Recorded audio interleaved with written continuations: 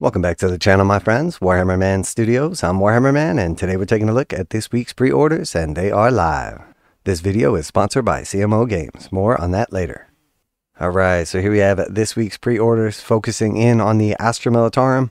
Uh, so we see right off the bat, they have a big old bundle here, slash collection, for $659, and that includes the limited edition art print. Uh, and then they also have a collection as well for $295 that includes an arc print. It appears the main difference is that this box right here includes all of the stuff that was in the army set. So we see right off the bat, Lord Solar Leontus is in both, Ursula Creed is in both. Then we see the heavy weapons teams in both. We see the Rogal Dorn in both. And then the art print in both. And then if we take the army book codex, the cards, two squads of regular guardsmen, one command squad of the guardsmen as well, and then we have the sentinel and the field ordnance. And then the only difference on top of that that I'm noticing here is the dice as well. So we can scroll right down and see the dice are $35.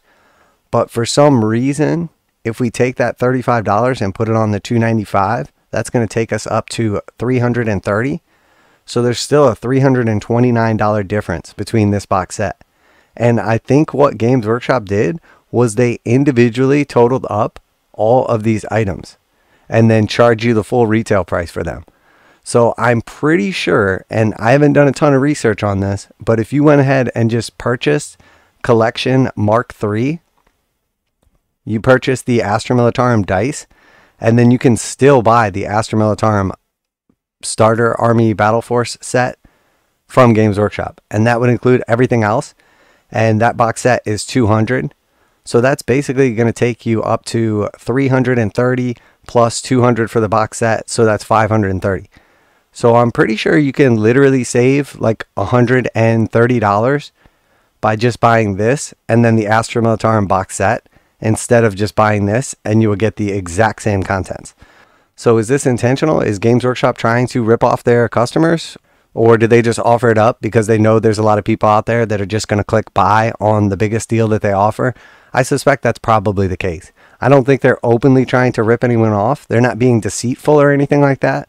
But the fact that you can literally just buy the box set and the dice, add it to this, and save like $140.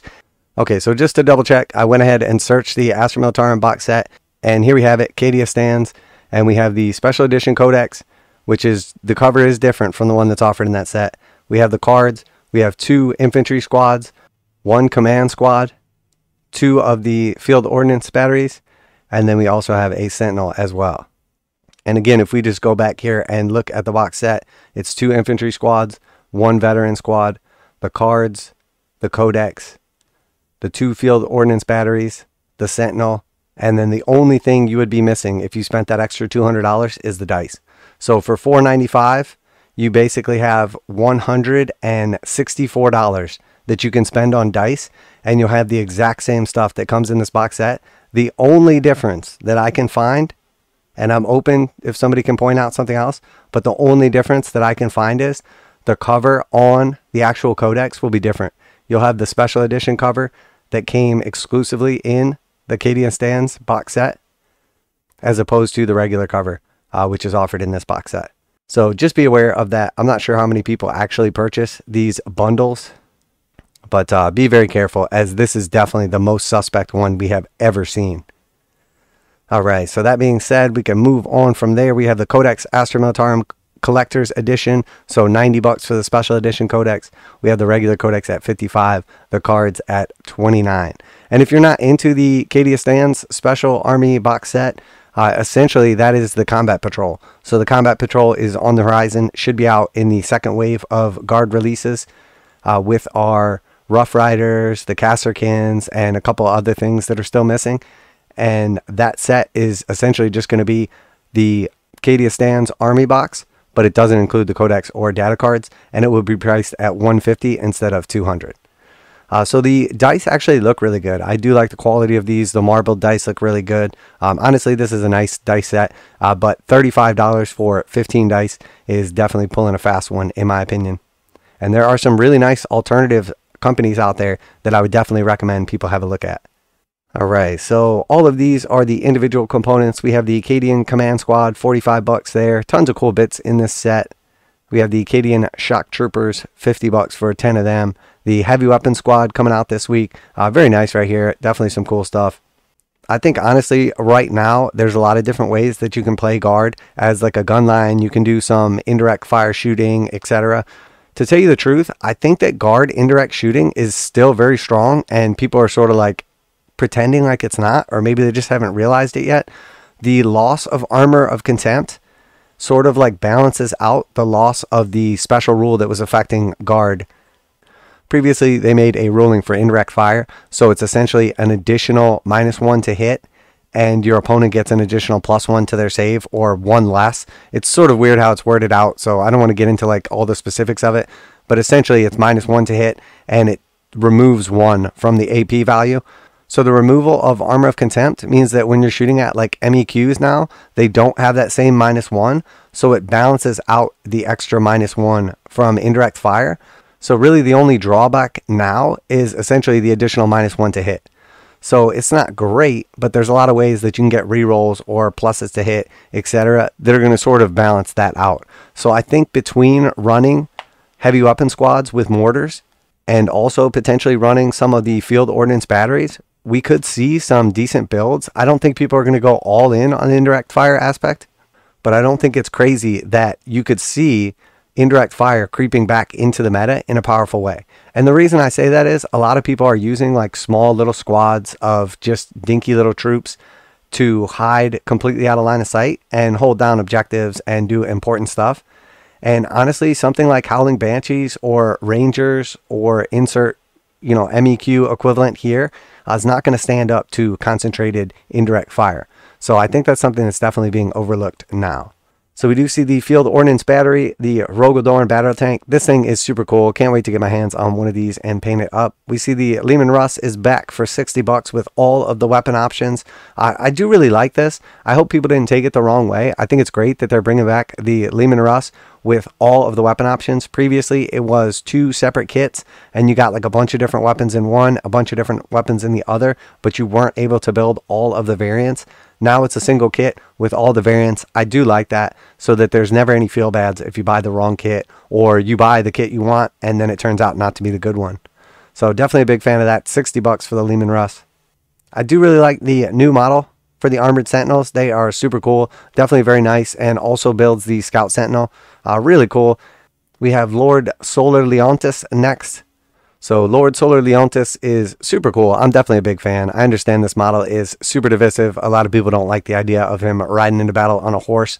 Uh, I think they pretty much took care of that because it's a mechanical horse. So even if it gets blown mostly to smithereens every single battle, uh, as long as there's still a little something left, they can always rebuild it. Uh, so definitely a fan of this model. Super cool. I'm looking forward to painting them up, and I think I'm going to do mine a little bit more grim dark than this one. I do like the overall bright look and everything, and the idea of solar and sun and all that good stuff. But uh, I think mine's going to be a little more grim dark than that. And we have Lord Castellan Ursula Creed. So 45 bucks for this model. I gotta say, I think this is the biggest loser of the release. I think it's overpriced at 45 bucks. She is a special character, but she's priced higher than the Space Marine characters. Doesn't actually look that good, and honestly, the rules for her are mediocre at best. So when it's all said and done, I think she's the biggest loser from the new line. And now a quick message from this week's sponsor. This video is sponsored by CMOGames.com, where you can get 15% off most Games Workshop pre-orders, and they go live right at midnight Saturday mornings. CMOGames.com offers free shipping on orders over $25 in the US 48, and most orders ship within 24 hours. CMOGames.com has been selling Games Workshop products online for more than 20 years, and customer service is their top priority. CMOGames.com carries the full line of Games Workshop products, including 40K, Age of Sigmar, Kill Team, Warcry, paints, hobbies, and tools. Visit CMOGames.com using the affiliate link in the description below so they know you heard about CMOGames.com from Warhammer Man Studios. Now, back to the video. And moving on here, we have the Primaris Psyker. Very cool model, finally available for the first time. 33.50 for that one. And we have the Baneblade. So the Baneblade is back in action, and this is in fact the full kit And honestly, this is the most full kit we've ever seen for the Baneblade. Although it did get a price increase up to $170, it now includes not only all of the options to build all of the different variants of this set, but it also includes all of the parts necessary to build all four of the sponsons. So previously the kit only came with two sponsons, one for each side, and then you would have to acquire an extra set of sponsons previously offered by Games Workshop if you wanted to fully kit this thing out. Now you get the second set of sponsons included. So this has literally everything you need to build the Baneblade or any of the variants and now it includes double sponsons. So you can build it fully kitted out with a single purchase, which is how honestly most of Games Workshop's kits, if not all of them, should be. And they're definitely trending in that direction. All right, and then next we have the Armageddon Special Edition. So for the most part, these special edition books come in at 65 bucks. This one is priced a little higher at 75, but these are very limited. I believe this one is 2,500 signed copies. Yeah, that's correct. So limited to just 2,500 signed copies. They are numbered as well. This is definitely for the collectors out there. Uh, super cool binding and everything like that. Honestly, nice if you're into this kind of stuff. Uh, really cool. And these do typically sell out pretty quickly. Sometimes it's not immediate, but if you do want a copy of this, I would not hesitate or you're going to end up paying a substantial premium in the aftermarket. Then we got a couple of the other books and some leftover stuff from last week's pre-orders. It is sort of interesting that they're going a different way on the dice now. So there's two sets of different dice that they offer basically. You can buy like the marbled sets, which include 15 dice, or you can buy like the just regular kind of like plain sets, which include 20 dice, and then they're priced differently as well. So it's $35 for the marbled dice and you get 15 or it's $40 for the regular dice and you get 20. So essentially, just to do the basic math for you, if you wanted to get 20 of the marbled dice, it would essentially cost you your initial $35 for the first 15 and then about $12 for another five, assuming you could even purchase them in that way. So at this point in time, it is officially $47 for Games Workshop's marbled dice if you want 20 of them. $47 for 20 dice. What a deal.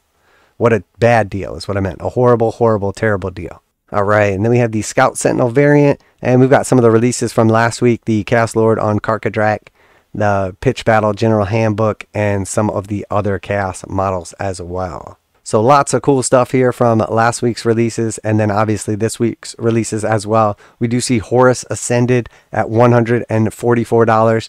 And moving right along, we've just got all of the different variants available for the Baneblade. And this is all just that same Baneblade kit. It just is all the different named versions of it. So that's it for this week. Uh, quite a bit going on there. Lots of stuff coming for the Astra Militarum. Still some items haven't been released yet from the new line uh, for the Astra Militarum players out there. So if you are one of those few people thinking about picking up the limited edition collections right here, take a little time and just double check that what I said was correct. And uh, I think you'll end up saving yourself about $150 just buying this collection right here or just buying all of the models individually, including the box set to kind of fill the gaps. Special thanks to CMO Games for sponsoring this video. Check them out to save 15%. That's it for today. Warhammer Man Studios. I'm Warhammer Man. Let me know what you're picking up, and I'm out of here.